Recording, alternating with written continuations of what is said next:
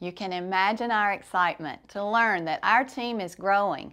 Common Voices is so excited to have Coach Ron Rivera join our team of fire safety advocates, helping others understand how fast fire is and what we need to know to be prepared for fire and to do the very best we can in keeping our families safe.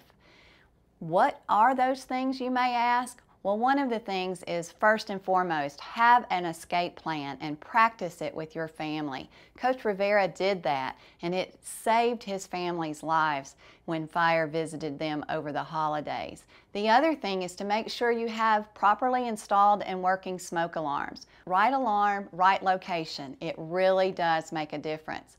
And the third thing is to have fire sprinklers. This is one part that Coach Rivera was not aware of prior to the fire. And we were happy to help him understand the role that fire sprinklers play and the fact that they're on duty 365 days a year, 24 7. It's like having a firefighter in every room in your home. So I want to make sure that I have fastest water, that's fire sprinklers, on duty, keeping my family safe. Let's learn from Coach Rivera and his story. I mean, it was pretty much a, uh, a life-changing experience. You know, to, to have a home fire, to, to survive a home fire, uh, I think is a, a stark reality of, uh, you know, the, the unfortunate things that can happen to you. We had that sentiment that it can't happen to us or it won't happen to us, but you know, even though we did have that sentiment, we, we always talked about it, we always were prepared for it. Uh, I think it's in our nature as, as coaches to prepare for anything.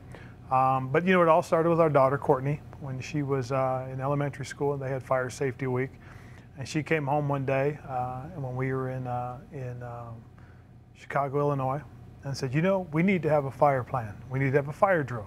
So we practiced it. You know, we, we talked about, okay, if we're upstairs, everybody come down this way and everybody head outside, either through this door or that door. If there's fire here and you're blocked here, go this way.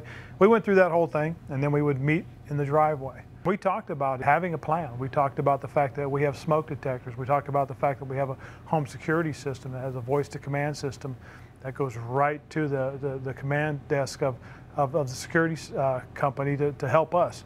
And we had all those things in place, and we're very fortunate that we do. You know, it, it really woke me up to that. You know, there is a need for this. There is a there is a, a need for for for you know for for people to be prepared, to be better prepared, and be put in situations where they have what they need.